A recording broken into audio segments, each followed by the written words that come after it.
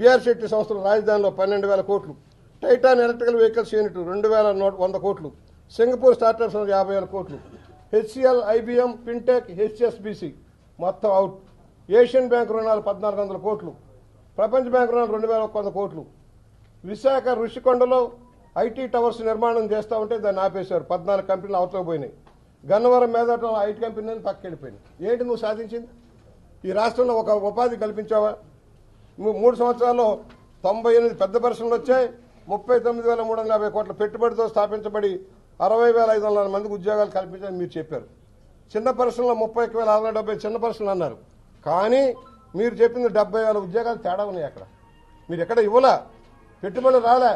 ఉన్న పెట్టుబడులు తరలిపోతుంది. అందుకని మేము అంటున్నాం. పారిశ్రామికంగా కుదేలు చేసి మూడు రాజధానులు ముచ్చట తెచ్చి ఎన్నికల ముందు రకరకాల తప్పుడు వాగ్దానాలు చేసిన నువ్వు ఏమి సాధించామని అడుగుతున్నాం. కాకినాడ సెజ్లో ఏదైతే ఫార్మా కంపెనీ రాకూడదని ఉద్యమం చేశావు ఇవాళ నువ్వు ఏ విధంగా హెట్రోకి పర్మిషన్లు ఇస్తా ఉన్నావు అక్కడ?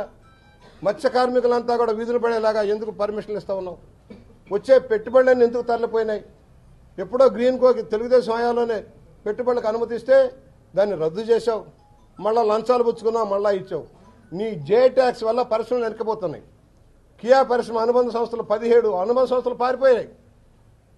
రిలయన్స్ కంపెనీ పెట్టుబడులు తల్లిపోయాయి చిత్తూరు హబ్గా రాయల వెనుకబడ్డ రాయలసీమలో వచ్చే పరిశ్రమలన్నీ వెనకబోతున్నాయంటే అర్థం చేసుకోవాల్సిన అవసరం ఉంది. అందుకనే మేము అడుగుతున్నాం మీకు చిత్తశుద్ధి లేదు రాష్ట్రం మీద. ఎంతసేపు ఏ విధంగా దో- మీ పరిశ్రమల కోసం మీ భారతీయ సిమెంట్స్ని ప్రమోట్ చేసుకోవడం కోసం రేట్లు పెంచడం కోసం ఇతర కంపెనీలు ముగించేసే పరిస్థితి వచ్చాము. మైనింగ్ అంతా మాఫియా మైనింగ్ దోపిడీ. దాని పర్యవసానంగా ఇండస్ట్రీ అంతా కుదేలైపోయింది. ఇసుక మాఫియా ఫలితంగా రాష్ట్రంలో నిర్మాణ రంగం కుదేలైపోయింది. ఈ పరిస్థితుల్లో రాష్ట్రం దివాళా తీసే పరిస్థితికి వచ్చింది. అప్పులు తెచ్చి మన నెత్తిన భారం వేస్తా ఉన్నారు.